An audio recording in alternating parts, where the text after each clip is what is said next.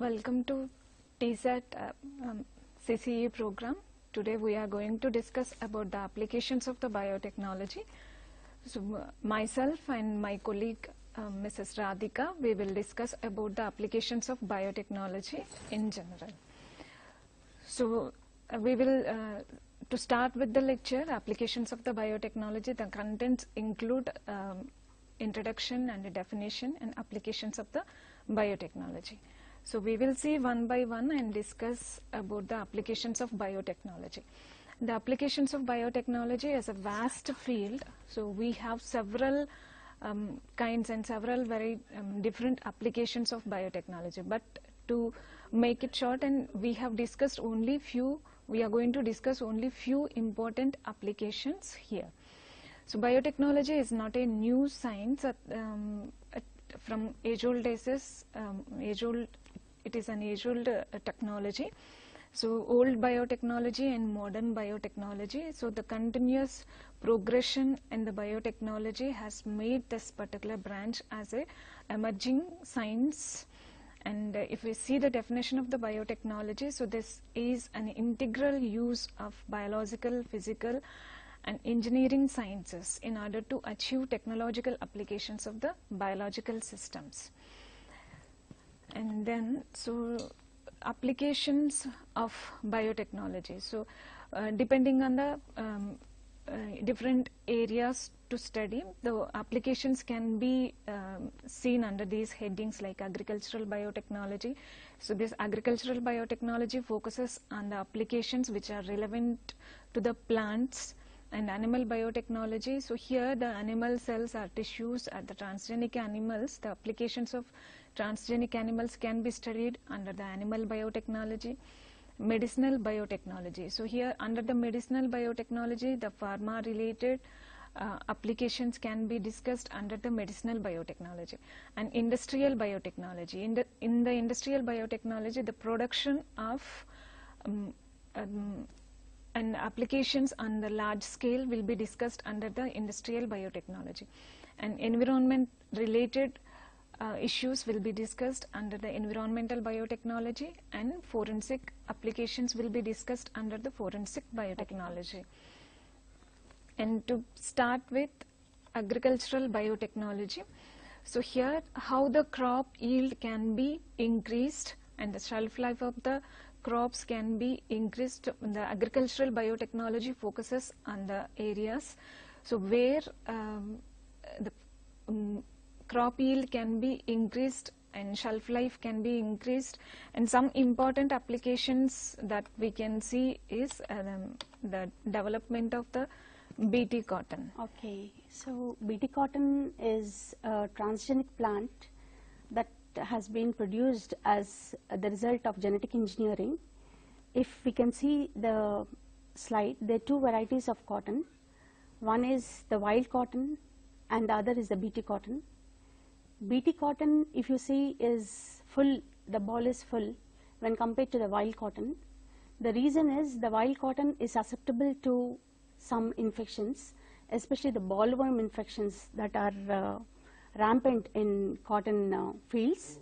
So, the BT cotton where we use uh, the bacteria Bacillus thuringiensis for obtaining pest free or we call it as the bollworm free um, cotton balls. So, if we go into the actual process of how this particular plants are produced, uh, could you just uh, tell us about how um, these plants are produced, this crop? So this uh, BT cotton produced by Monsanto company of USA. So how it works means, so the uh, genes which are responsible for uh, synthesizing the cry proteins, CRY cry proteins. So these particular proteins will uh, are essential. Um, these proteins belong to the endotoxins of uh, bacterial species when the insects feeds on this particular plant parts so when the uh, when they consume this particular plant parts so in the midgut of these insects the cry proteins will create the pores why because the alkaline ph of this particular insects is very suitable and which activates the cry proteins to be functional and this particular cry proteins will create the pores in the intestine of those insects and ultimately the insects will get died. So this is how uh, the uh, insect resistant plants can be created. Not only insect resistant plants, the herbicide resistant plants, viral resistant plant and stress resistant plants are produced. So the herbicides like atrazine, glyphosate, phosphinothricin resistant plants are produced. The herbicide uh, like glyphosate resistant transgenic tobacco, tobacco plants are produced and phosphinothricin uh, resistant uh, lycopersicum plants are produced. So like this in plants, uh, the, uh, several um, herbicide resistant plants are produced and this is one example, the BT cotton is one example. This is an insect resistant uh, crop developed against the bollworms and it functions um, uh, the cry proteins of this uh, Bacillus thuringiensis uh, will kill the insects. So this is how the BT cotton is developed. And So- The other example is the golden rice. This golden rice is another wonderful product of uh, biotechnology. This is uh, actually a vitamin enriched source, vitamin A enriched source. The beta carotene is being uh, the gene responsible for the production of beta carotene is extracted from daffodil flowers and this is inserted into the rice crops and we are capable have, of having golden rice that is capable of meeting probably some demands of vitamin A deficiency worldwide. So we'll go to the next. we can add few more points Okay. also. The Ingo Potrykus and Peter Beyer individually worked over uh, worked for the synthesis of this uh, golden rice and they have uh, isolated the genes from the daffodils plant. Phytoene synthase has been isolated from the daffodils and another important genes have isolated from the Erwinia bacterium and they have inserted this genes into the rice plant uh, rice so that when we consume this uh, rice it uh, we can able to synthesize the vitamin A and we can uh, manage the deficiency of vitamin A to the maximum extent. So that is how the golden rice was developed. So this is And- about the shelf life, extension of shelf life of some vegetables and it's really wonderful to see that we can preserve tomatoes over a long period of time. Like the normal tomatoes would rot and wilt within 45 days, one and a half months. But look at the um, genetically engineered tomatoes that have got a higher, a longer shelf life. Could you Yeah. add on this? Yeah, we can add few more points. So this is the first approved genetically modified crop, um, Flavr Savr tomato. So here uh, what they have done is they have silenced two important genes of um, two important genes like uh, alpha man and uh, helix genes have been silenced. And the polygalacturonase is an enzyme which uh, the increase in the levels of this particular enzyme will help uh, in the ripening process. And if we silence the two important genes which are relevant to this particular important enzyme we can increase the shelf life of this uh, tomato varieties. So that the transportation and storage of uh, crop is useful for the farmers. And this is the first FDA approved uh, genetically modified crop and which has given license in the year 1994. So these are Okay, so few that's more about the important. shelf life of uh, Yeah. tomatoes, the increased shelf life of tomatoes. Mm, yeah. Now, if we go to the next one, this is a transgenic plant. It is rabbage, we call it, a transgenic plant.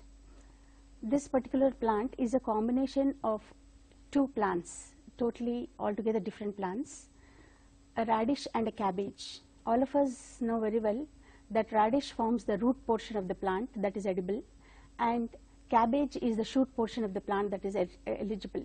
So, man to his uh, to meet his demands, what he has done is in one crop he could have both cabbage and radish. By combining these two plants in such a way and producing a transgenic plant which is capable of producing the shoot portion above the soil, cabbages are produced and the root portion, the radish is being produced. So earlier the roots of cabbage were not utilized by man. And likewise, the shoot portion of the radish was not being used by man. So this was a another uh, uh, great, wonderful um, experiment where they could combine two different uh, um, plants and obtain a plant which could produce two, the shoot and the root both could be of great use to man. So that is a transgenic plant. The next one, if you see, And another that is okay, plant advantage. important uh, applications like uh, molecular farming. Molecular farming is nothing but here we can consider the animal cells as tissues or the plant cells as tissues as bioreactors. They can synthesize important products and that can be edible parts of this particular plants can be considered as important source. Here we can produce edible vaccines can be um, expressed in the plant parts and those plant parts can be um, used for the consumption process. So this is an advanced area where uh, uh, molecular farming can be done. So means we can consider, we can uh, develop the plants as a bioreactor so that they can synthesize monoclonal antibodies or so that we can produce vaccines like edible vaccines can be expressed and some interferons can be expressed in the plant cells and the parts of those particular plants we can consume as the medicines.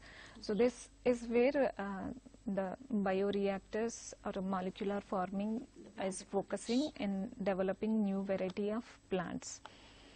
Um, animal biotechnology, like just like how plants can be used, similarly animals, they are great bioreactors, and it is uh, a almost uh, successful, and we are capable of producing some transgenic female animals.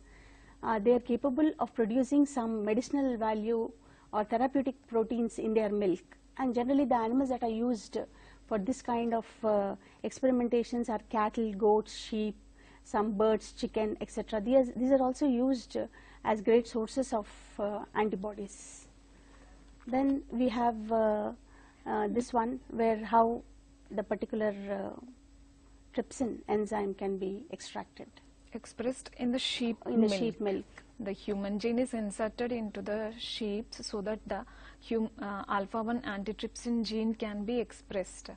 So like this we can develop several varieties of uh, transgenic animals, not only transgenic sheep, transgenic cows are produced and transgenic mouse, super mouse is produced. Uh, means we can uh, insert, by inserting human growth hormone gene, we can produce the super fish and we can produce the transgenic sheep for the wool production and transgenic cows for the expression of uh, human genes in the milk. So uh, transgenic pigs, transgenic cows, transgenic mouse, uh, uh, different animals have been produced by using the this uh, transgenic uh, methods.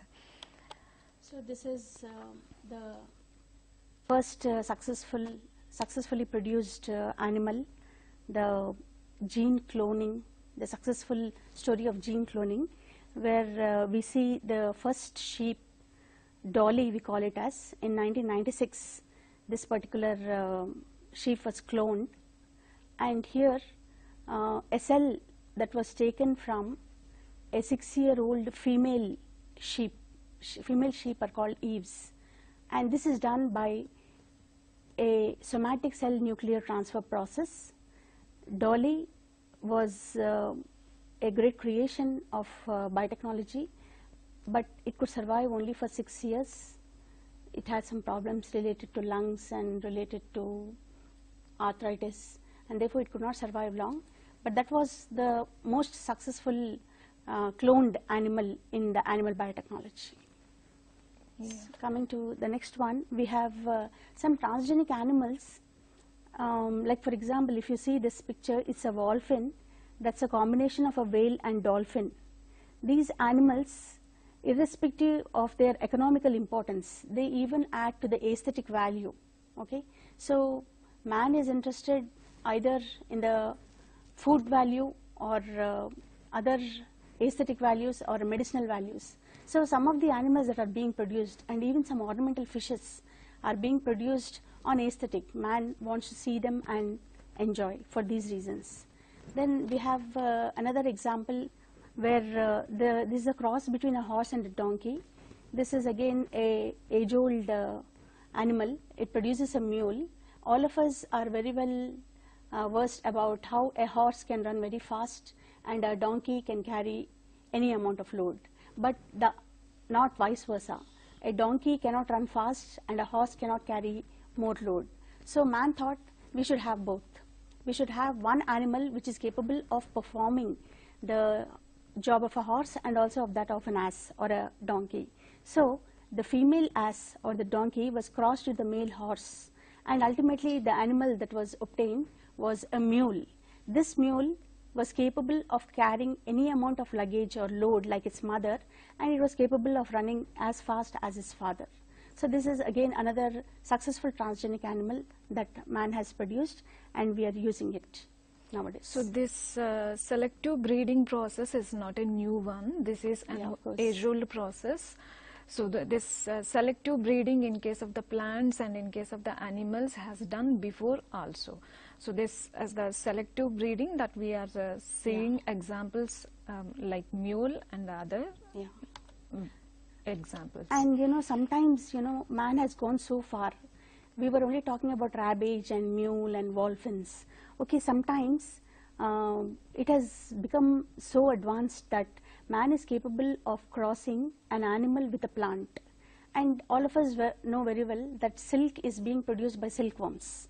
And the silk that is produced by silkworms, which is uh, made into silk clothes, are worn by people with great interest and uh, silk is good for health wearing silk garments is good for health so man thought suppose we need we could grow silk on the field. So he planned to extract the genes the silk genes from the salivary glands of the silkworm and introduce those genes through the rDNA transfer into the cotton plant. And ultimately we could have all the cotton balls now we, we should call them as the silk balls. We can have acres of land acres of land cultivating silk. So instead of harvesting and killing so many silkworms we could actually have it in such a way that silk is being produced by plants okay on a large footing. Man any common man will be capable of purchasing, purchasing silk and wearing it. So this is i feel the height of biotechnology where uh, a day has come when we are capable of crossing a plant with an animal And all these applications are possible because of the discover, the continuous progression in this Yeah, biotechnology is because after the discovery or after the mm recombinant DNA technology. Technology. So where the restriction endonucleases uh, and uh, this recombinant DNA technology assist are, is very important tool. So by using this recombinant DNA technology only we can produce all these transgenic animals and transgenic plants. And the next important area to focus is the medical biotechnology and uh, which is called red biotechnology. So under this aspect we can discuss the uh, development of the diagnostic kits and some pharma related applications and uh, clinical research and some clinical applications will be focused under this area. An important uh, hormone that is synthesized on large scale through this technology is insulin. So previously, uh, the for extraction of insulin, um, either from bovine or porcine, we used to extract the insulin hormone. But by using this biotechnological methods, now we are able to produce this insulin on large scale.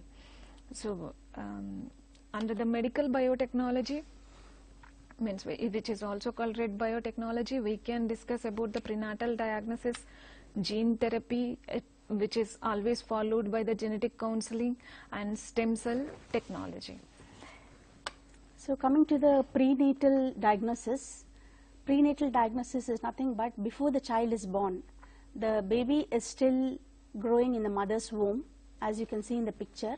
We are uh, capable of identifying any uh, problems that the fetus could be undergoing or any genetic disorders that the fetus may be undergoing by a simple technique which is called amniocentesis.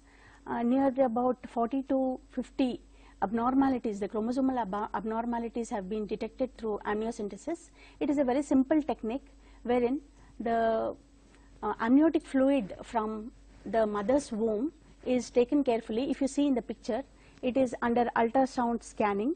So the ultrasound scanning is being performed and on the screen, screen you can see on the monitor very clearly we can see to what extent the needle is being pierced and care should be taken that the needle does not touch the fetus.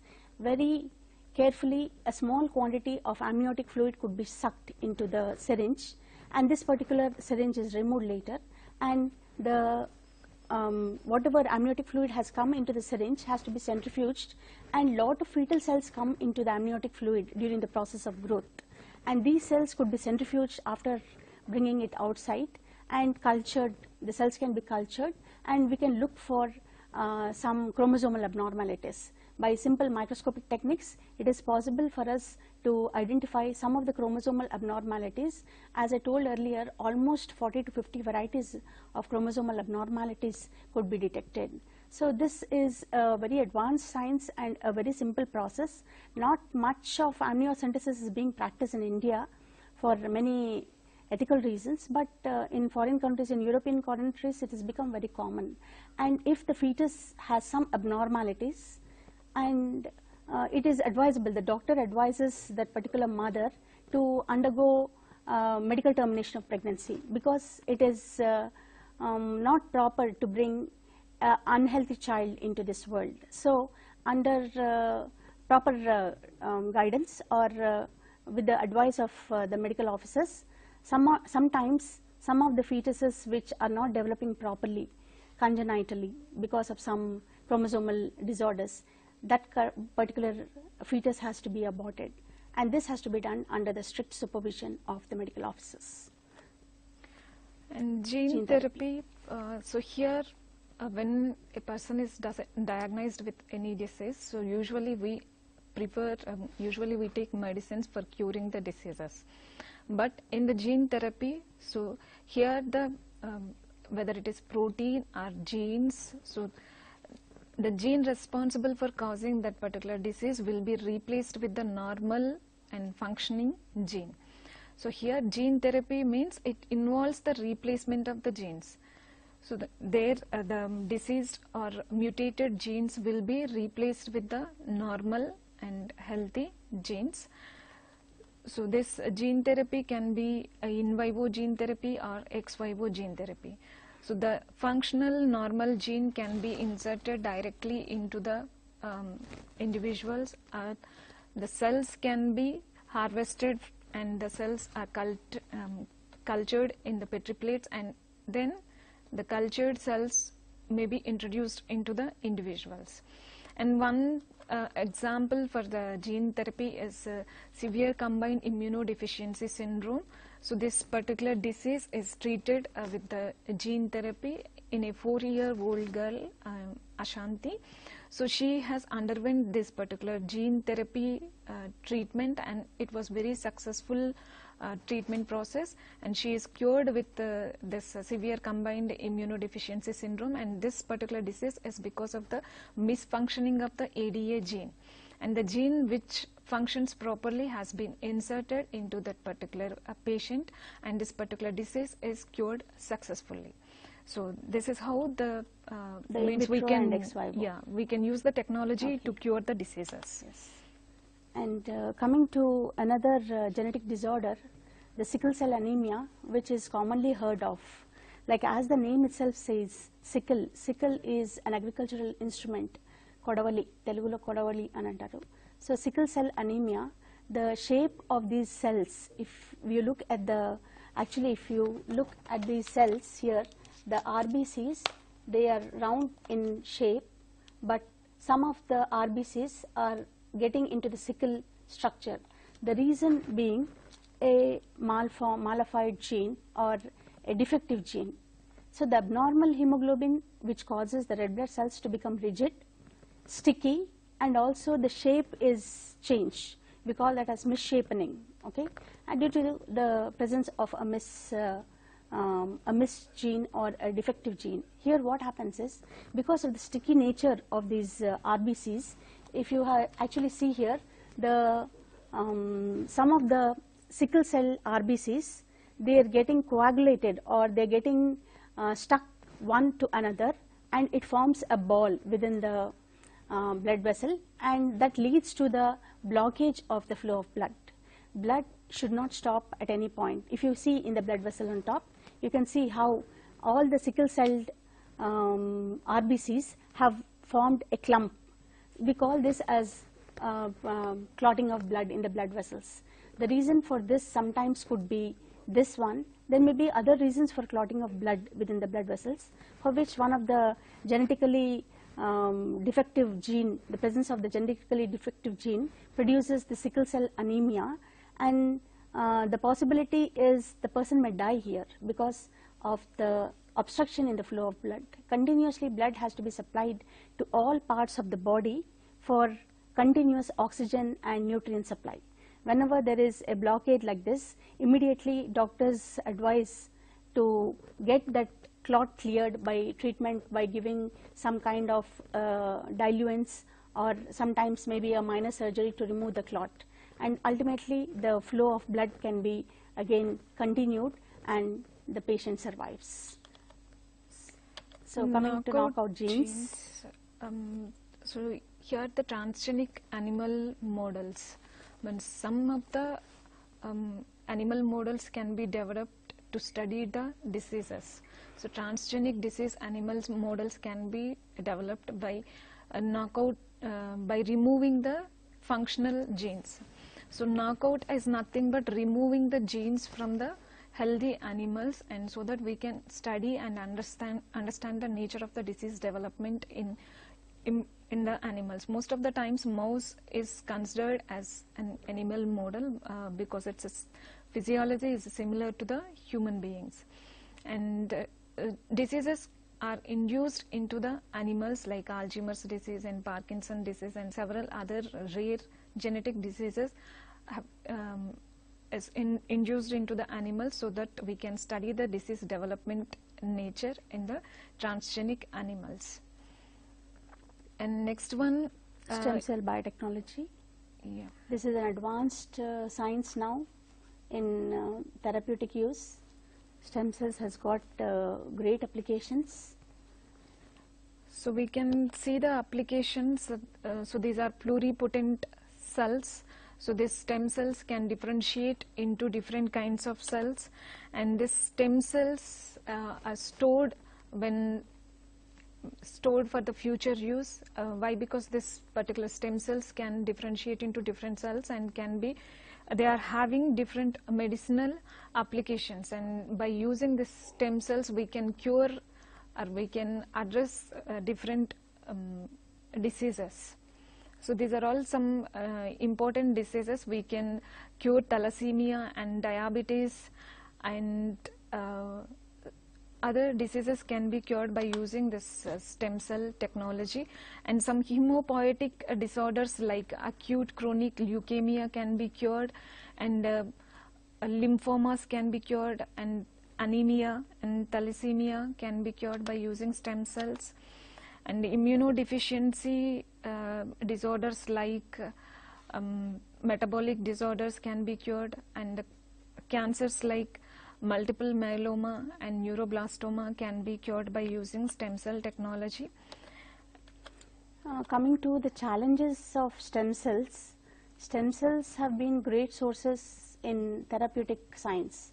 But the thing is, stem cells, uh, if uh, they can be grown in particular chemical environments, some of the chemicals they are capable of inducing the stem cells to produce different cell types.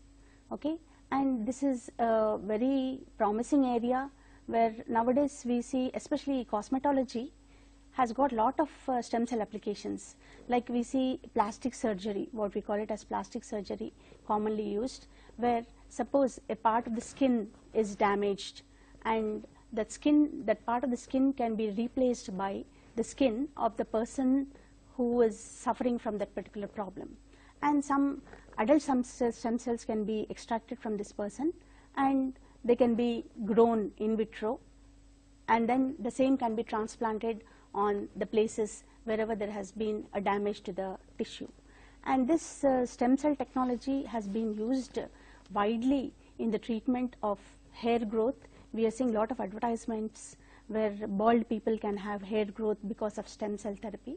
Stem cells are nothing but they are multipotent, pluripotent, totipotent cells that could uh, be formed during the process of uh, um, growth and development of the fetus. And here I would like to add two points. Um, the great cricket star uh, Sachin Tendulkar, uh, when his son was born, the stem cells from the placenta were preserved. And even actor Mahesh Babu's son, when he was born, uh, some of the stem cells were preserved.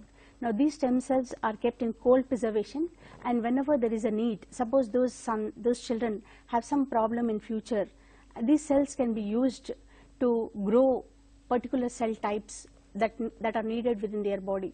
Like some some of us are uh, listening to some people suffering from platelet count reduction, so we can grow platelets outside or liver damage. So liver can be grown outside because their stem cells are ready, frozen and kept, and whenever required, those stem cells can be retrieved and proper chemical conditions when given, definitely they can produce the tissue of our interest. And definitely this uh, proves to be very promising probably uh, one day man will be able to produce a heart and a functional heart that can be transplanted and work efficiently in a living animal, in a living human being.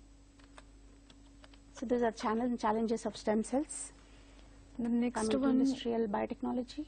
yeah, industrial biotechnology, the next important aspect to discuss, which is also called white biotechnology. So in industrial biotechnology, the living cells can be used either tissues or cells, either uh, plant cells or animal cells. Here the cells are used to produce um, enzymes and other important derivatives on a large scale. So here industrial biotechnology, um, so we can produce antibodies on large scale and organic acids, vaccines and fermented foods. So coming to antibiotics, we have penicillin and streptomycin. Mass scale production of penicillins started early in the uh, during the World War when lot of uh, soldiers were injured. They were having wound infections, and luckily Alexander Fleming at the time he accidentally discovered the penicillin. And in the crude form penicillin was given to the soldiers because something is better than nothing.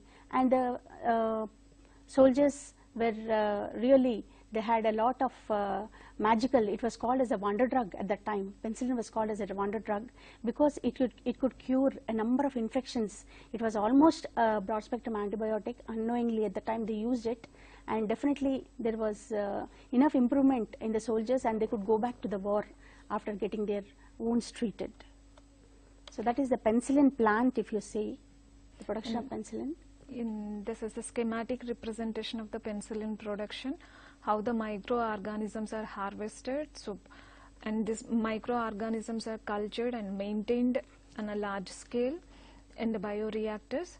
So, this uh, uh, bioreactor which is having several inlets and outlets so that the exchange of gases uh, will be easy.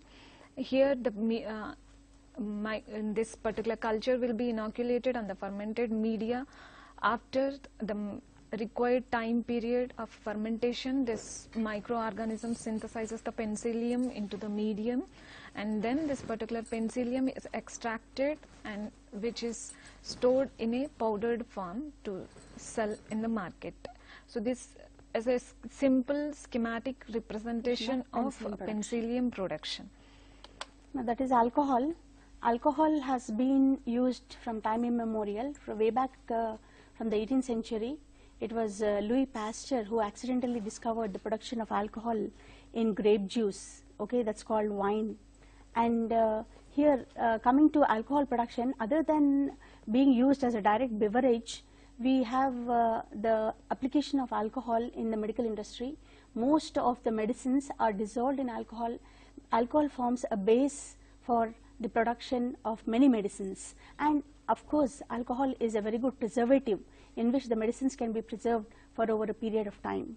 And alcohol is being prepared basically from biomass or any molasses or uh, the sugarcane waste, the paper waste industry or potato mash or even the maize, the maize seeds after they are plucked after the seeds of the maize are removed, the kernels of the maize that are generally used as fodder by the for animals, uh, these uh, kernels can be used, they can be crushed and there's a lot of uh, cellulose and hemicellulose uh, source in it. And we can start with very very cheap raw materials. That is actually the um, ambition of uh, biotechnology. What we intend to do is start from very basic and very low cost materials as the raw materials. And we use biological systems. Either we use uh, some microorganisms um, be it bacteria, fungi or uh, protozoans or any other animals and we are capable of converting these uh, raw materials into more expensive and widely used for human purposes. So this we call it as uh, the biotechnology. Biotechnology is nothing but waste to best. So something that is of no use to man that can be converted to something which has got the best application in man.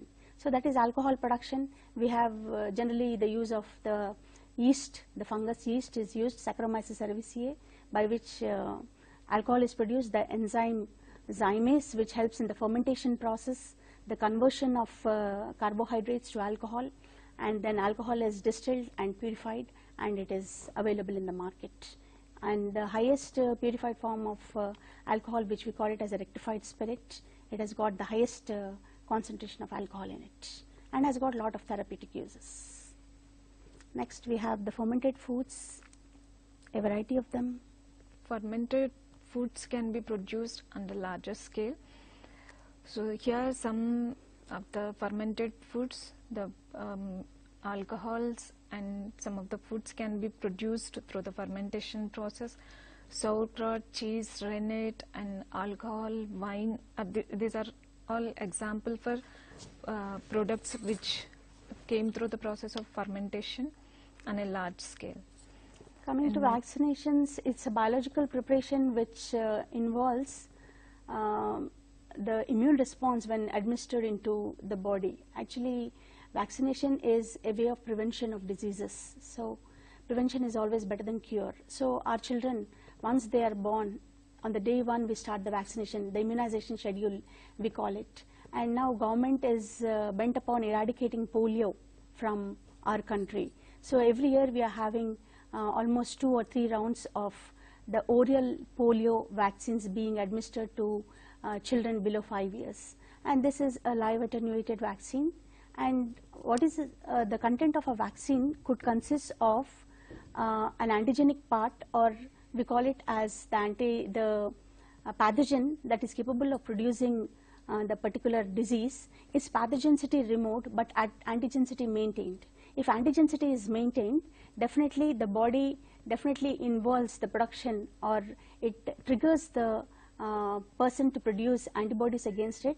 And once there is an attack of the particular disease producing organism, the antibodies are readily available within the system of uh, the body to combat those particular antigens. And by which uh, we can uh, get rid of or rather we can be protected, we can be immunized against some um, vaccines. We have a number of vaccines like the mumps, MMR, mumps, measles, rubella.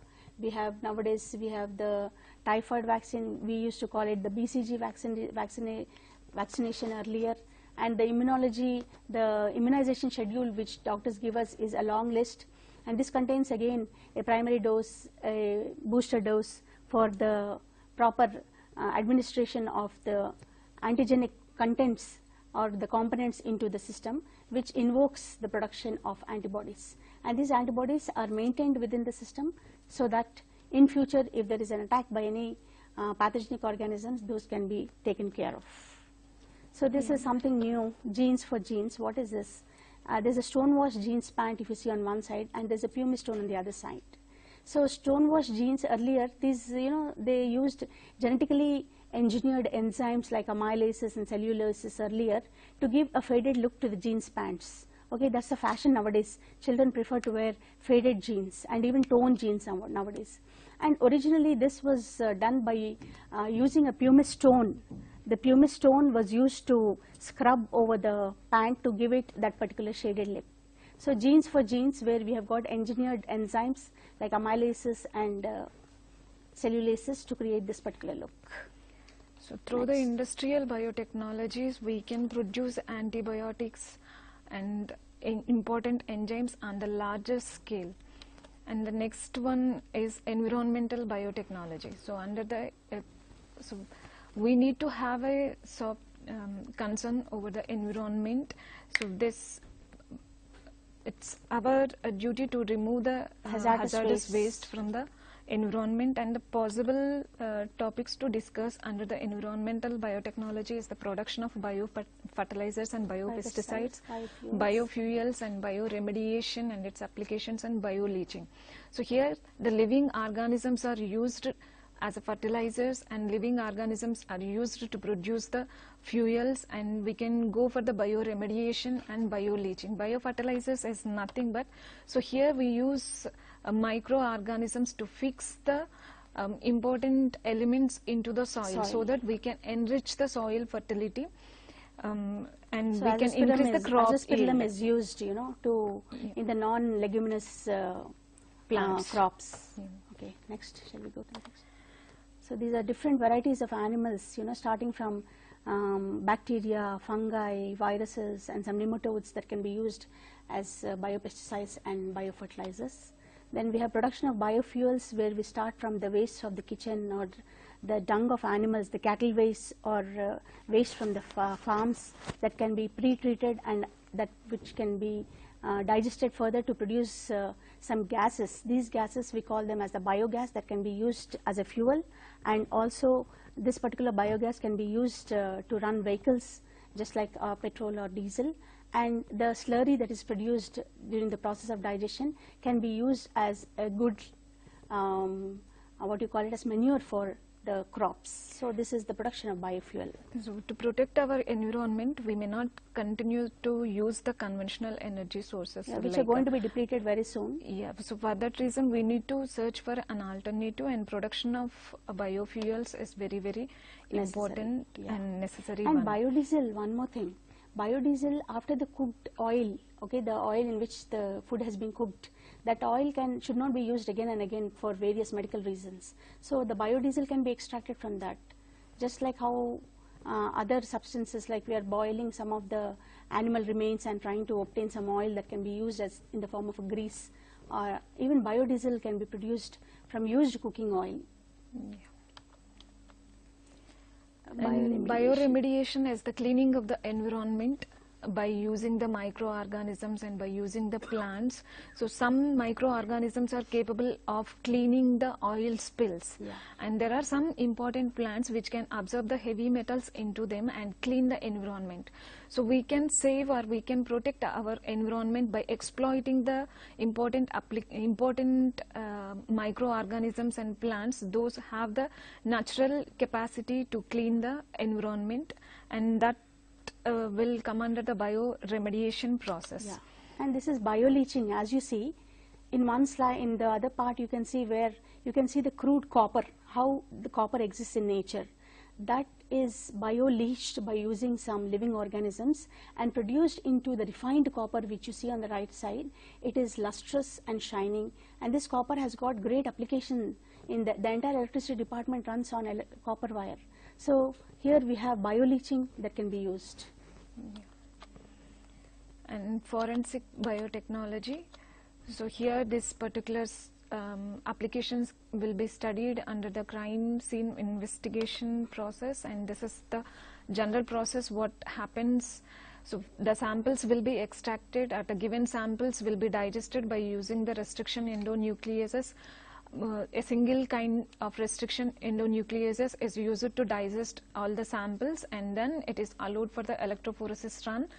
And then the uh, bands which are formed will be observed under the X-ray film. And then the bands will be com- uh, compared to identify the um, similarity between the given samples. And here the variable number tandem repeats are the important ones. So here each and each and every individual is having its own genome. Yeah. and the number of variable number tandem repeats fr- differs from person to person. And by using this uh, number we can identify the specific Yeah. Individuals are spec- given specific samples. Coming to the applications of DNA fingerprinting, other applications, the human remains from the archaeological surveys, the paternity tests like we hear of Akbar Birbal stories where everybody, the two sets of parents coming to claim the offspring. Then we have uh, th- this particular uh, endangered species the, where we can identify by using the technique of uh, DNA fingerprinting, which we can reduce the poaching of some animals and preserve them because uh, the ecosystem should not be disturbed. And just like how uh, all the fingerprints of our 10 fingers do not match one another, no DNA uh, fingerprints or no DNA matches with another. They may belong to the isozygotic twins. In spite of that, their DNAs don't match 100%. So by identifying the DNA sequence, we call it as the gene mapping, we can definitely know the uh, what is the original uh, from where it has been derived. So it's very good in paternity cases where uh, the paternity issues can be solved by going for a DNA test, which the we, have, we see great personalities saying that we'll go for a DNA test. It means that. And all these are only skeletal representation of the applications of the biotechnology. Biotechnology. So we have, um, there are several other applications. The important areas like bioinformatics, proteomics, genomics, metabolomics, and bio nanotechnology, green nanotechnology. So there are several other important areas to focus also. So, but uh, we have discussed only few important applications which are relevant to the syllabus. And so, uh, we have started with the definition and the applications under agricultural biotechnology, animal biotechnology and different other applications exactly. we have studied. So, so, biotechnology when used properly can be a boon to mankind otherwise it can prove to be uh, the greatest curse on mankind. Thank you. Thank you.